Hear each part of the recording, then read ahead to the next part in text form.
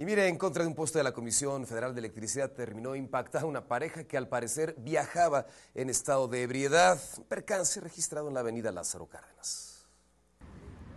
Una pareja a bordo de una camioneta perdió el control y colisionó violentamente contra un poste de la Comisión Federal de Electricidad. El siniestro se produjo sobre la lateral de Lázaro Cárdenas al cruce con la calle Cebada. La magnitud del impacto dejó al vehículo en un estado irreparable, dispersando autopartes en el sitio. Sorprendentemente, el poste no sufrió daños significativos. Testigos que acudieron al auxilio de los afectados indicaron que ambos presentaban un fuerte olor a alcohol. Asimismo, llegaron a la escena bomberos del estado quienes prestaron primeros auxilios a los dos ocupantes que se encontraban visiblemente lesionados, pero estos decidieron trasladarse por su cuenta a un centro de atención médica. Dentro del vehículo se observaron rastros de sangre, probablemente causados por el impacto de uno de los ocupantes contra el parabrisas, informó para imagen Alberto Mariscal.